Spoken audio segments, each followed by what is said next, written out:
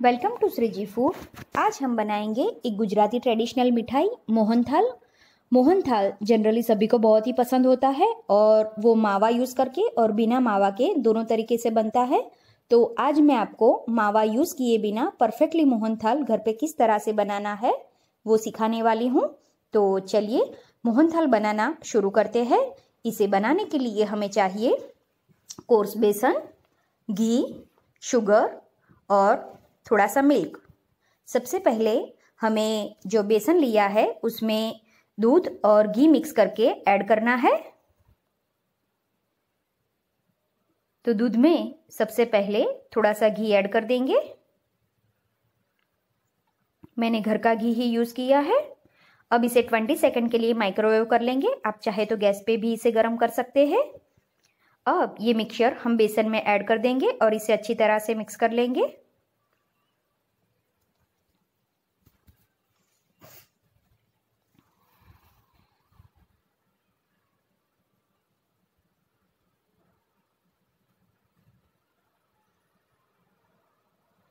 ये अच्छी तरह से मिक्स हो चुका है। अब हम गेहूँ छानने के लिए जो छन्नी होती है, वो ले लेंगे। और इस बेसन को छान लेंगे।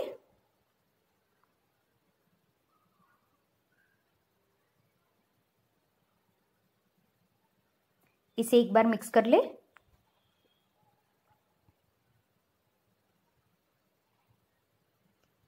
अब हम घी गरम करने के लिए रख देंगे।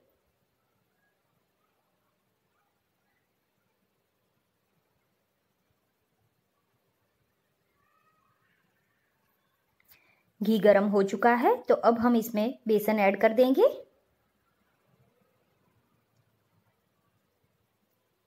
इसे हमें स्लो टू मीडियम गैस पे रोस्ट कर लेना है।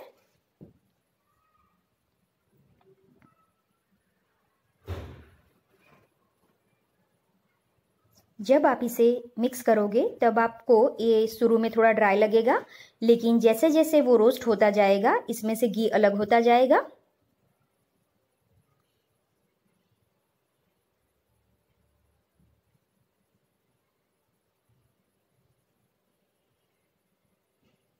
हमें बेसन को बहुत ही शांति से और स्लो टू मीडियम गैस पे ही रोस्ट करना है। साथ में हम शुगर सिरप प्रिपेयर करेंगे तो इसके लिए एक बर्तन में हम शुगर और पानी ऐड करके इसे गर्म करने के लिए रख देंगे। और इसे भी हमें स्लो टू मीडियम गैस पे ही गर्म करना है।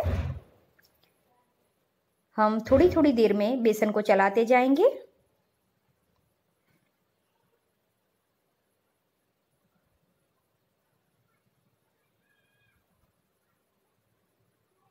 शुगर सिरप को भी एक बार मिक्स कर लेंगे।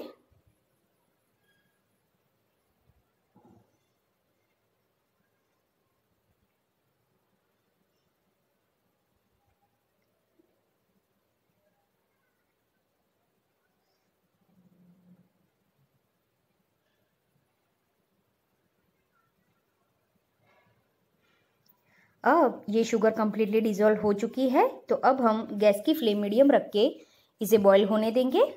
आप देख सकते हैं जैसे जैसे बेसन रोस्ट होता जाता है, उसमें से घी अलग होने लगता है।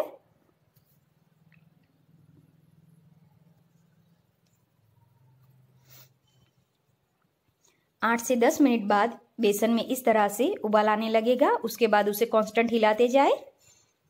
और हमेशा कोई भी स्वीट बनाए तो नॉनस्टिक का या हैवी बॉटम का ही बर्तन यूज़ करें।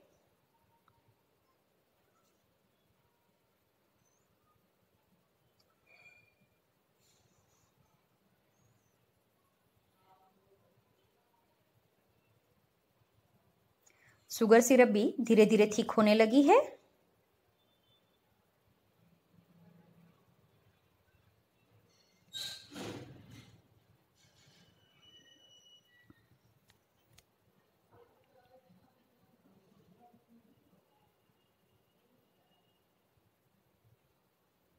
हमें बेसन को लाइट गोल्डन ब्राउन कलर का होने तक रोस्ट करना है।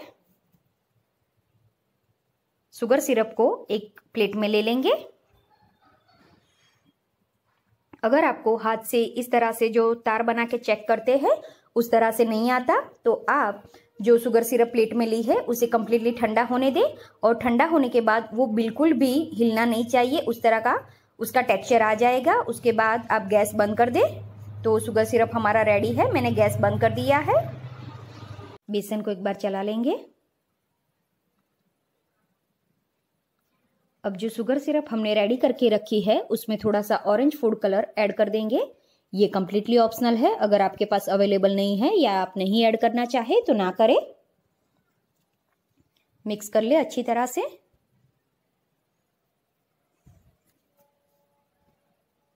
बेसन हमारा अभी भी गोल्डन ब्राउन नहीं हुआ तो इसे और थोड़ी देर रोस्ट करेंगे।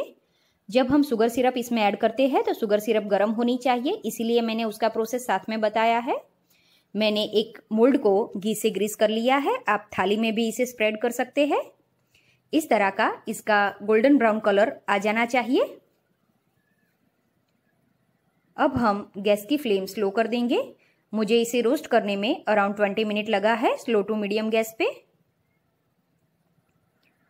अब हम इसमें शुगर सिरप एक बार मिक्स करके ऐड करेंगे। पहले हम आधी ऐड करेंगे। और मिक्स कर लेंगे।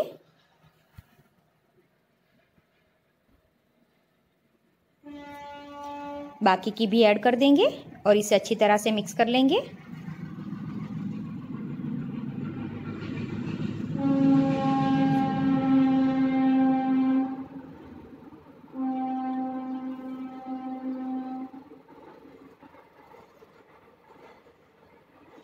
इलायची और जायफल का पाउडर ऐड करके इस मिक्सचर को हम मोल्ड में स्प्रेड कर देंगे। इसके ऊपर हम चारोली ऐड करेंगे।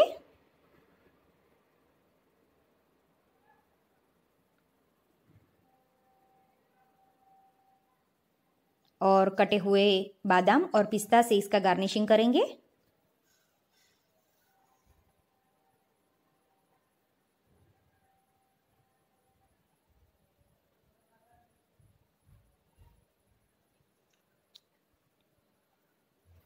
अब इसे सेट होने के लिए रहने देंगे।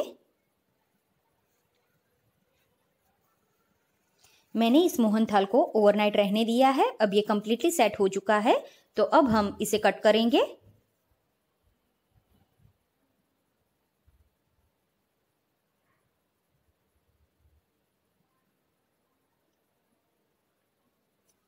अब इसे एक सर्विंग प्लेट में ले लेना है।